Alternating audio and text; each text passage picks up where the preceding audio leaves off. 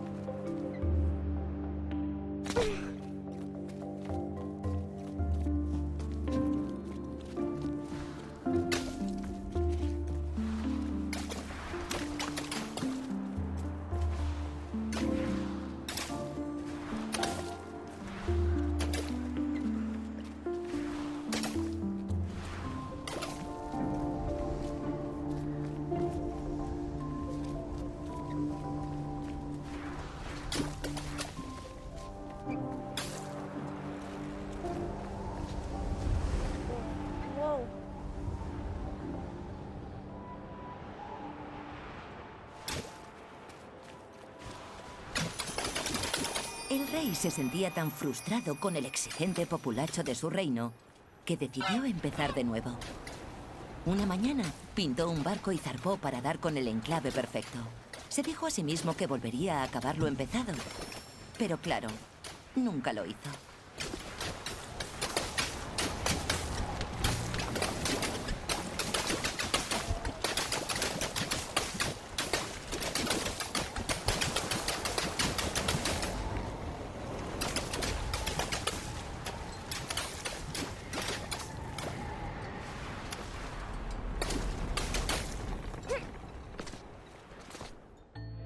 Mucho que Monroe no se sentía tan bien. Y se sintió aún mejor cuando el viento lo impulsó para llegar al cisne. Se sentía tan bien, de hecho, que olvidó su miedo a las alturas. Pero cuando el cisne se liberó y Monroe estuvo a punto de caerse, lo recordó de inmediato. Podría haber sido el fin de Monroe si esta historia fuese más corta. Pero no, los problemas de Monroe solo estaban empezando.